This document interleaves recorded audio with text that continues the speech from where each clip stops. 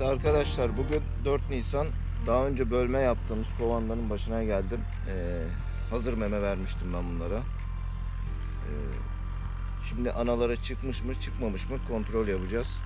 Bildiğiniz üzere bir hafta kadar oldu. Belki de geçti bir haftaya. Bölmüştük. İkişer çıta bölmüştük bu araları biz.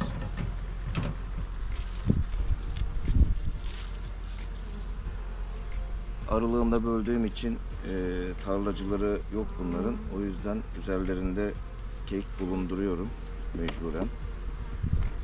Tarlacılar çünkü döndü. Öncelikle ana çıkmış mı diye bir bakalım.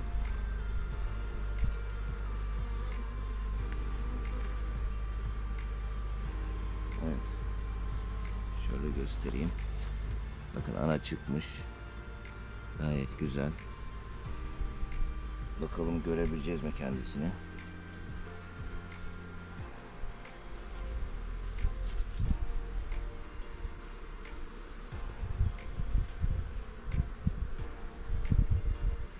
Şu çıtaya bakalım. Meme de yapmış ama.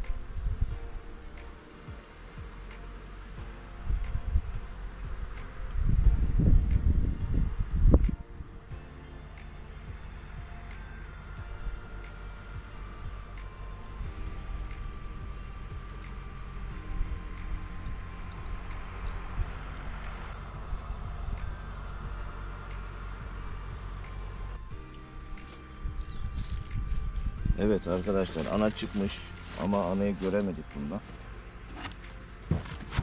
Şöyle işaret koyalım.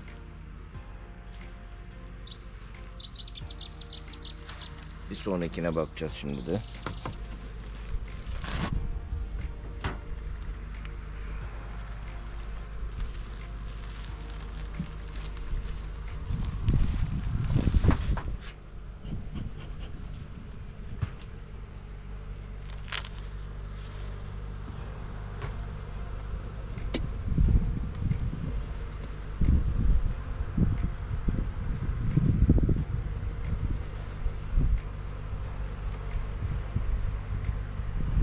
Evet bunun anayı gördüm.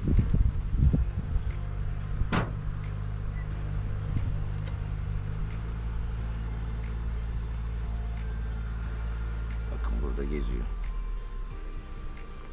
Çıkmış ve burada geziyor. Kontrolünü yaptık. İşlem bu kadar.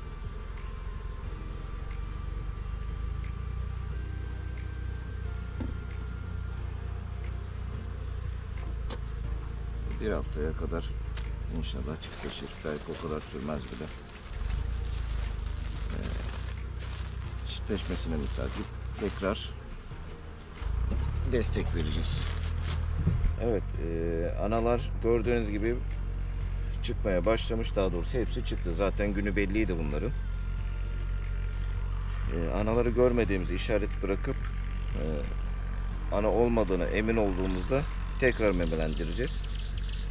Ee, büyük ihtimal çiftleşmeden de dönmeyenler olur. Onları tekrar e, kovanların hepsini analandıracağız. Görüşmek üzere. Kendinize iyi bakın.